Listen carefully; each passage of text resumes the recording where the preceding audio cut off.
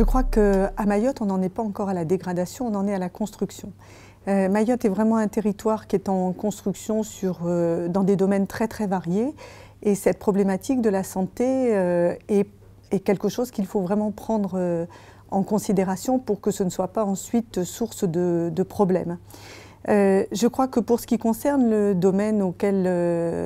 dont je m'occupe, euh, les enfants qui sont scolarisés sur le territoire de Mayotte n'ont pour beaucoup d'entre eux jamais euh, vu un médecin et jamais pu bénéficier d'un accompagnement euh, médical. ce qui du coup a des effets pour un, grand nombre d'entre eux, des effets assez négatifs et je vous donnerai deux exemples qui expliqueront plus précisément mon propos.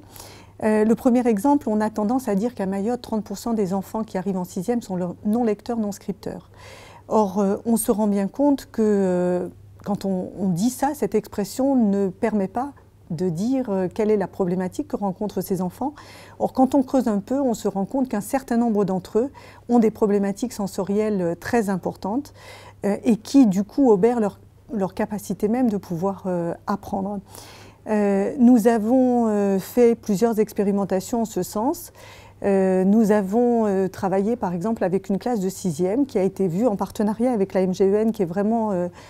très présent sur le territoire de Mayotte pour nous aider sur, sur ce travail-là. Sur 29 enfants d'une classe de sixième, 27 sont repartis avec des lunettes ou des prescriptions pour, pour les opticiens. Donc ça c'est un premier exemple. Un deuxième exemple, euh, nous avons mis en place des sections sportives scolaires parce que la pratique sportive est vraiment un véritable talent de ces enfants de, Mayotte. Euh, deux pôles euh, préparatoires à des sélections sur des pôles espoir ou des pôles France en handball et en football féminin. dans les deux cas, donc, nous avons fait appel à des médecins de la Réunion, puisque nous avons très peu de médecins sur le territoire qui, euh, malgré le fait que le certificat médical ne soit plus obligatoire pour la pratique du sport scolaire, nous avons continué à faire en sorte que les enfants soient vus et euh, les médecins nous ont fait part de problématiques euh, de cardiopathie, de problématiques d'asthme, de, de, maladies vraiment très, très importantes et qui pouvaient avoir un, un effet très négatif sur cette pratique intensive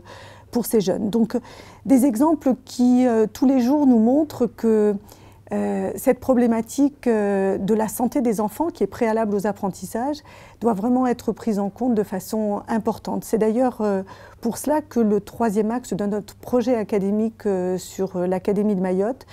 s'intitule Être disposé à, être disponible pour, et englobe aussi cette réflexion autour de la, de la santé des enfants. Nous avons sur le territoire 39 infirmières, 17 assistantes sociales. Nous avons 4 postes de médecins, mais à ce jour, un seul est, occupé par euh, un médecin vacataire. Euh, nous n'avons euh, nous n'avons plus de titulaire et je n'ai plus de conseillère technique depuis le 1er décembre.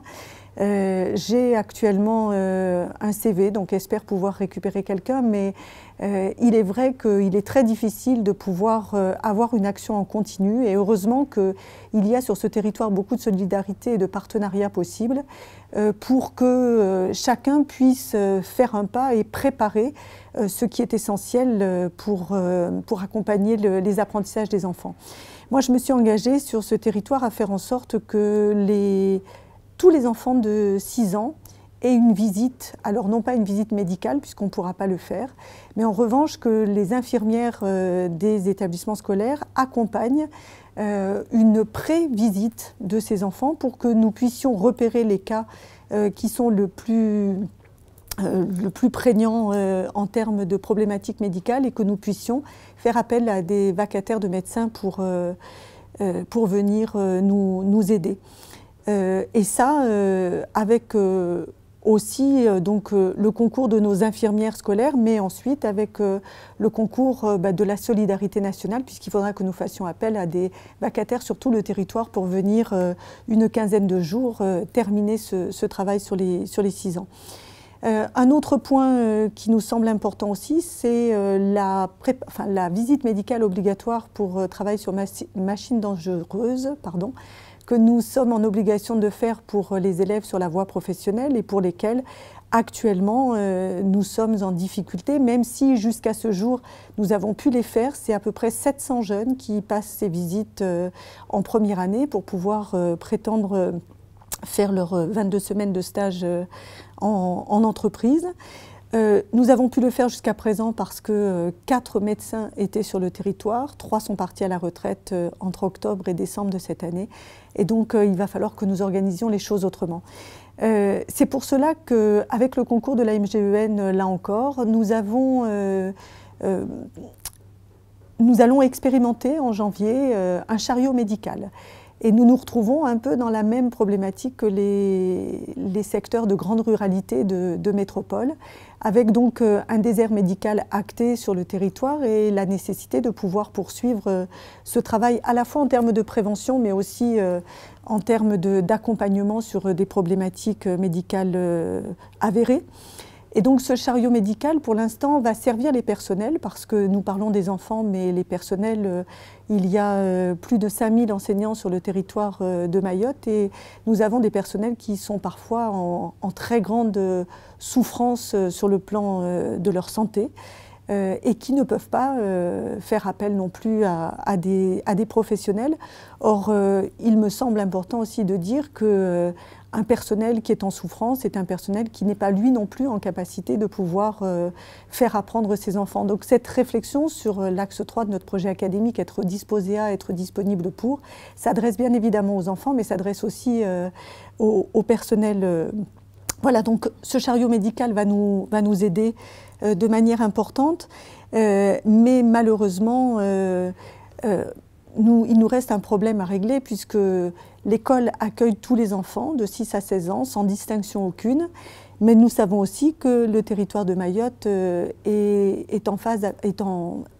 doit résoudre aussi euh, un problème avec euh, ces personnes qui sont sur le territoire en situation plus ou moins régulière et qui, de fait, ne permettent pas d'être assurés sociaux et de pouvoir bénéficier de cette aide pour pouvoir euh, prétendre euh, à des visites euh, médicales. Et de fait, nous sommes en train de réfléchir pour que nous puissions avoir une aide médicale pour que ces enfants, qui ne sont pas des assurés sociaux, puissent bénéficier de cette, de cette technologie liée au numérique et qui permettra donc à des médecins à distance de pouvoir euh, faire une, visite euh, médicale comme si on était chez un généraliste. Donc nous, nous testons ce chariot médical à partir de la rentrée de janvier et donc euh, le, le vice-rectorat va louer cette machine chaque mois pour permettre dans un premier temps au personnel de pouvoir en bénéficier, pour le tester sur le personnel, mais vraiment avec l'objectif de, de permettre que cette euh, ce matériel puisse servir euh, surtout les enfants sur, euh, sur le territoire.